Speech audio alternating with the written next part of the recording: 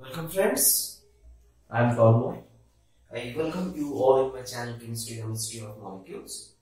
So today we will discuss a very important topic which is named as superbase.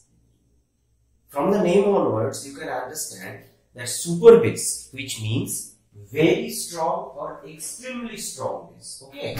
So generally the word super means super means means for example super tasty, super good, super cold. This thing means extreme. Through this word we want to we want to mean the extreme nature of a particular thing. So similarly, the super base means extremely basic. And generally, in our common day-to-day -day chemistry knowledge, the strongest base is hydroxyl group and this is in water. Okay. So, by definition, that this is stronger base than water. So, today's our lecture will cover few points like super base, definition, reactivity and what how many types of superbase are possible. So, let's start. So, they are very strong base in water. We got it. So, sorry, alkyl, the strongest base in water actually I should write here the strongest base in water is the ideal one that is hydroxyl group means OHO minus. So a super base must be stronger than this. Uh, must be stronger. And second point, Superbase have some problems. What? When you handle any superbase, precaution should be precaution should be first of all anhydrous condition. Anhydrous condition. What does it mean? It means it should be done under argon or nitrogen environment that must be moisture free. How? You have to use phosphorus pentoxide or potassium hydroxide based column to remove moisture such that they could become moist. Even molecular sieves to remove moisture. First. Second, the medium could be CO2 free. Why? Because if there is some moisture that will, uh, for example, one thing you can say, the superbase actually absorbs proton. Okay. So from moisture what it will generate? It will generate hydroxyl anion and we know that hydroxyl anion reacts CO2 efficiently. So that is another thing. It must be CO2 free also. But one main another important generally super bases are non-nucleophilic. Okay, non-nucleophilic means they only show the basic character, not the nucleophilic character. So this is the basic definition as well as reactivity for this superbase. So, now what we are going to discuss are how many types of superbase possible. Okay. So, in this context, if you think means whenever we say base, one word in our came our mind, one molecule more specifically if we say means organic base we consider the general thing is triethyl amine. Sorry, triethyl amine. But I should say this is not super base because its pK um, is corresponding cations means after protonation uh, protonation the corresponding cation which, which it produces what it produces have a pKa means it has a pKa around 10.7 around I'm not sure exactly. But criteria of a super base is it should be above around 12.1 means the value is not material that much important. The important thing is it should its its pK around 12 point I guess 12 point something one or like that around So super base must be stronger than this and this is named as proton sponge. In my next video, I shall discuss about this proton sponge. It's a very interesting molecule. Okay. So this is another important thing that what we use triethylamine is not that much strong as superbase. Okay. So another point of view, another type of definition could be uh, constructed that a superbase should have a pK higher than 12.1, greater than 12.1. Fine. So this is so based on these factors, superbase could be categorized three types. What are these three types? Three types are organic, inorganic, and uh, organometallic. Okay, so let's let's discuss. So in case of organic thing, I have just give you example that is more the actually okay. So we can differentiate superbase based on organic, based on organometallic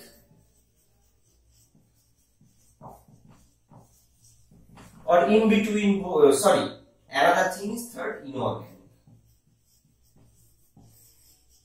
what are they what are they if we say organic that must be stronger than this proton sponge and in this context this phosphazenes or Actually, okay, let's draw the derivatives of this, which is furthermore stronger.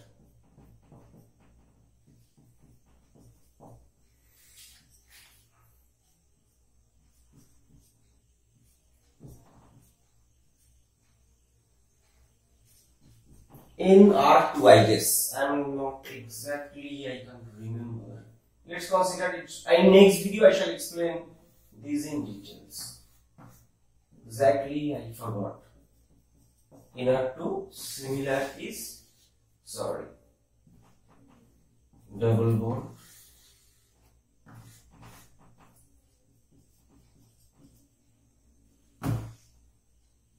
P inner to inner. Okay, this derivative is stronger than the proton sponge. I shall explain these details in the next video.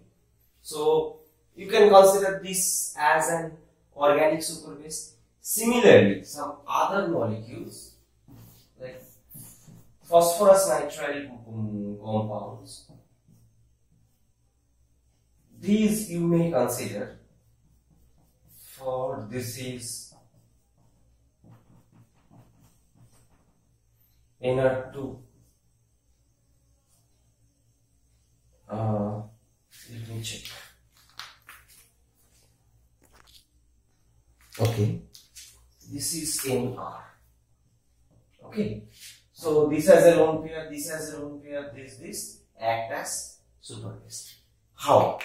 Let me give you little explanation then it will be easier for you to understand. How it is doing for example let's put a proton here.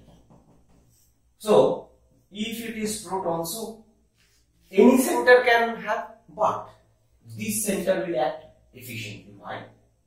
Because if you think it can push it can increase electron density. Similarly this center can push this center can push.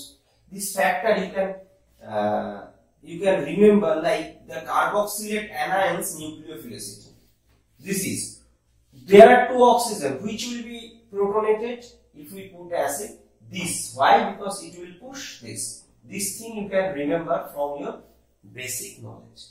So let's now now we have understood why that nitro that nitrogen will be protonated. Because the corresponding canonical form let me draw it in R H plus this is inner 2 inner to inner. This is this is resonance stabilized. How? This nitrogen pushes its lone pair, it opens. So what is the canonical form? This is P. This should be NRH. This is double bond now. Inner 2 plus. So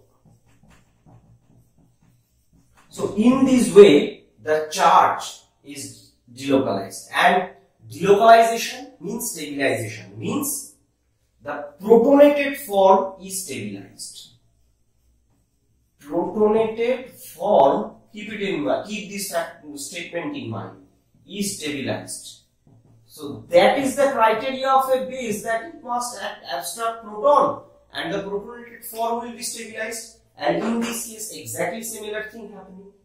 In case of this also such type of thing happens. What? These, these two donates will come. Okay? And stabilize. Now you may think that why they will, they may remain out of, actually why they, they will undergo protonation because before protonation these two lone pairs have severe repulsion. This is the moment in this way, in this way. Now you can say that, okay, let me clean this, then I will draw, we'll understand better. Now, mm, what do I mean? That the without protonated form.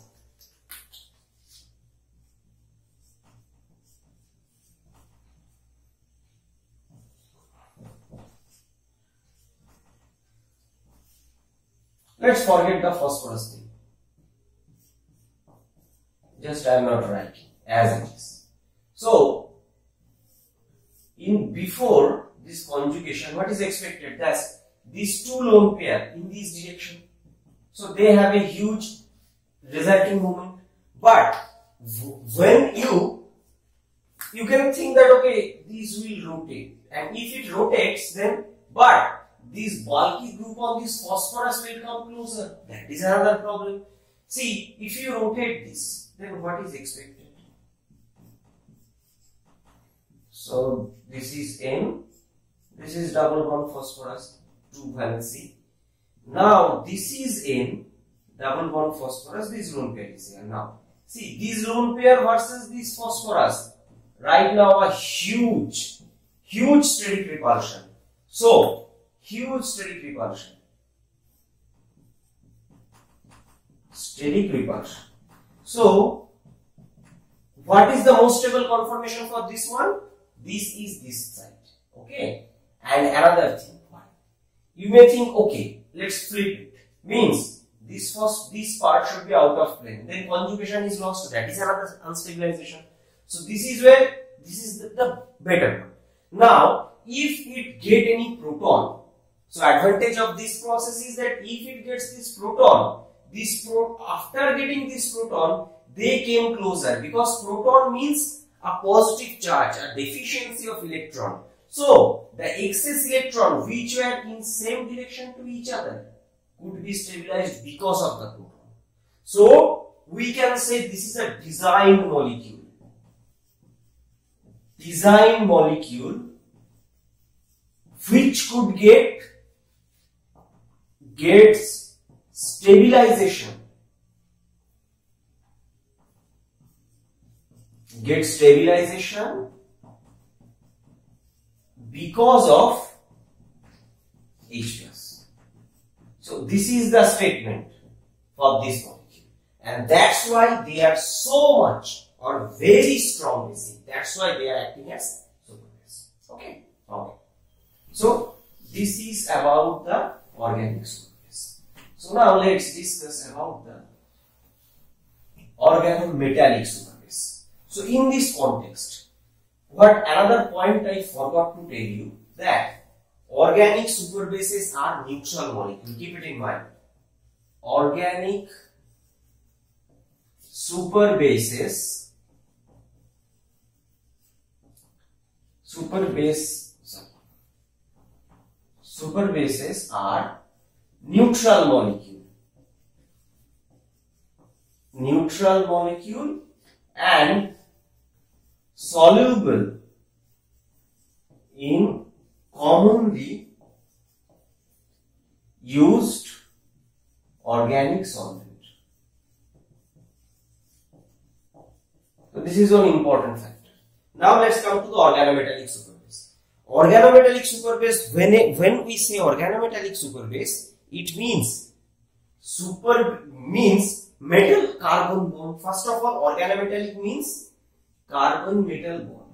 Okay. And super base means they are anionic. Minus plus. And in this context, we have just read before. I have already made videos about it. That is butyl lithium. So that should be N-butyl, N-butyl lithium, secondary butyl or let's consider T-butyl lithium. So you recapitulate which one is the stronger base is N-butyl lithium or T-butyl lithium. I have already made a dedicated video about this. I, I expect that you can provide the right answer. Okay? Please write the please write the right answer in the comment box. Pause the video and try. I'll explain now. Okay, I guess you have attempted. So the stronger one is T-butyl lithium. Okay? So such type of means carbanion. sp3 center carbanion. So in this context, if you say ethyl lithium, I agree.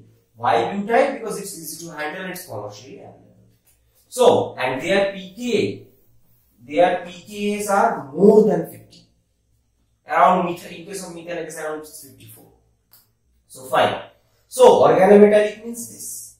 Organometallics are always charged.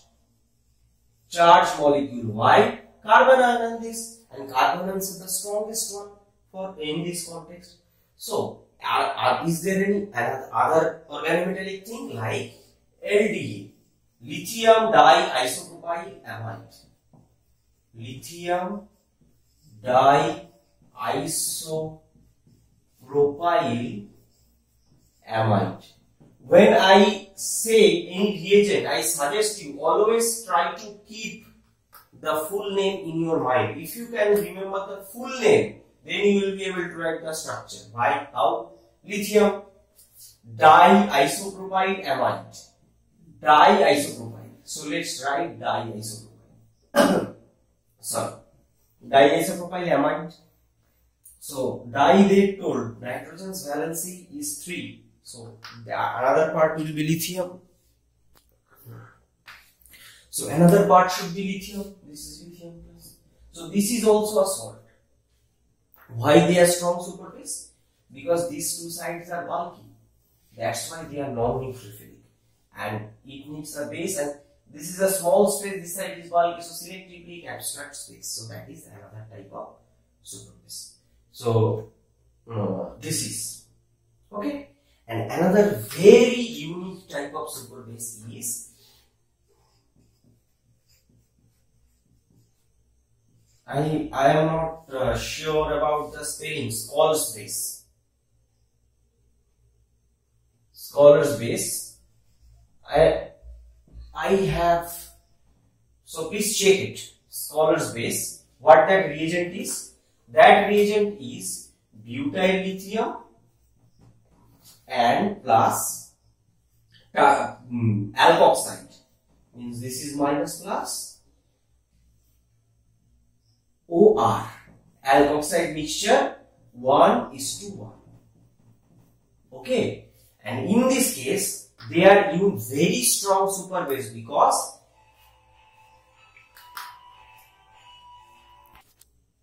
okay. So this is SCHLO. SCHLO SCHLO SSERs. Okay, skull space. So this is and why this is butyl lithium and tertiary butoxide 1 is to 1. Why this is 1 is to 1? Because the butyl lithium, this lithium is solvated, lithium plus is solvated by this OR minus. Okay, don't solvate it. So if it is solvated, then in reaction medium what remains? This butyl part and potassium part. And we know potassium part, potassium is a very electropositive uh, cation and so the nucleophile, so this carbanion is bare one and consequently it is very reactive. That's why this is very strong base and this is such so strong that even it can deprotonate benzene or allylic positions. Okay, so this is the uniqueness. So these are the uh, organometallic superbases. Now let's come to the last part of this talk that is the inorganic superbases. So what we have learned organometallics are always charged. Inorganics are also charged. So means actually if we say these are these both are means these uh, organometallic and inorganic are salts. So in this case we should better to say organometallic because metal carbonyl bond but inorganic these are actually salts. Okay, these are actually salts. Categorically they since both contains cation and you can say that also but it is better to say salts for this inorganic one. Okay, so what are the inorganic? Anion having multiple charge and smaller size like lithium nitride. Okay, so lithium nitride. This is one type of, it is a purely salt. Okay, and another uh, is hydride. And that hydride like sodium hydride, potassium hydride, this. Okay, so this is, these are the inorganic um, superbases. So, this is the overall uh, end of this discussion of overall discussion of today's topic that is superbase. So what we have learned today? We have learned today about the basic definition of superbase. So what type of precautions should be taken care while handling this superbase? And finally, how many types of superbase with some example and very crude explanation. Okay. So this is, okay, I forgot to give this explanation. What about this? This is a, you may consider, whatever base means it will abstract proton. So this this is hydride, this is proton, which will ultimately produce hydrogen gas, which you. Okay, so this is the overall uh, explanation about the superbase. I have taken this discussion from mainly internet articles like mainly Wikipedia. So fine, and in the next video I shall discuss about the uh, proton sponge. As I told, organic superbase one type is proton sponge. So thank you everyone for listening. See you in my next video. Till now, all the best. Stay happy, stay blessed.